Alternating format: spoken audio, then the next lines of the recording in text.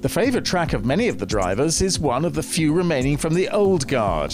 While more and more high tech circuits are filling the race calendar, a lap at Spa leads about 7 kilometres through woods and over hills.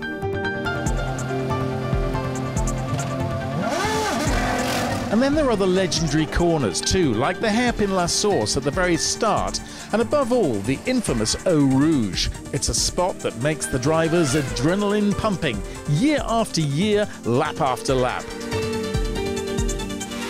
At 300 kilometers per hour, it's down into a dip. Like on a roller coaster, the drivers are pressed into their seats, shoot down at top speed, and then uphill, seeing nothing but the sky. Once at the top, a long straight offers a little respite, if you can call it that, at 330 top speed.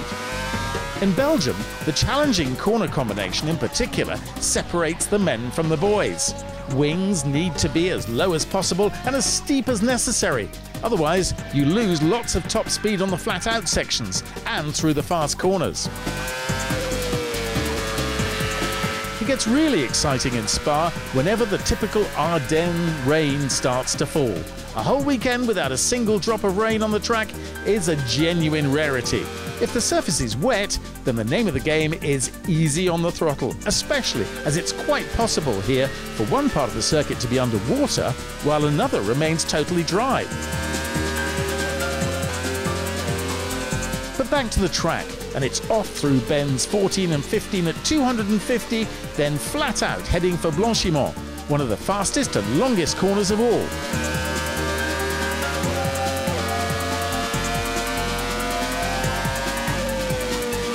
Only with the ideal line through this flat out corner are you fast enough to keep your nose on top approaching the bus stop chicane, which follows immediately, or to outbrake the car in front and gain a position before crossing the finishing line. The chance to do that comes every lap. From now on, therefore, a whole 43 times more.